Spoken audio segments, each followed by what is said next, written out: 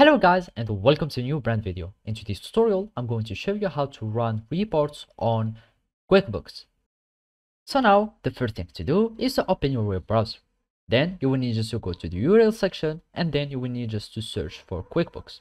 Then you will need just to click on the first link that you find and basically now we are just going to start this free 30 days trial or you can just buy the product. Then it will take you to this page you will need just to choose your own uh, plan that you want. I'm going just to choose this one for example. And then you will need just to add your email addresses and uh, add all other informations.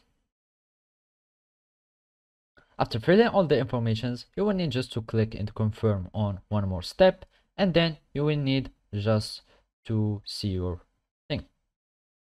so now we need just to tell about your business and add all these information so you can be able to start using QuickBooks. So after filling all this information, you will need just to click on next.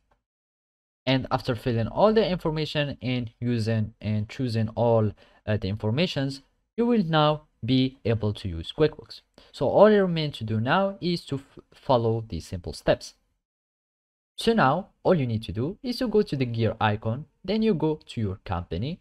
After that, we want just to go to the charts of accounts. And here we can find the run reports button.